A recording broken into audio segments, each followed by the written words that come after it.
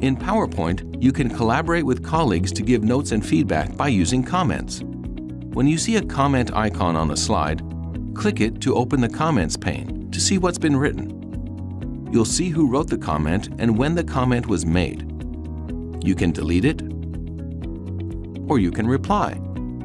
When you reply, it adds another comment icon under the other one, showing there's a thread of comments. If you want to add a comment, choose New when the Comments pane is open. Or choose Review and then New Comment. Type what you want to say and then press Enter. You can move the comment icon wherever you want on the slide. Just drag and drop it to make it clear what your comment is referring to. If your presentation has multiple comments, use the Next and Back buttons to go through them. And when you reach the end, PowerPoint will ask you if you want to continue reviewing comments at the beginning.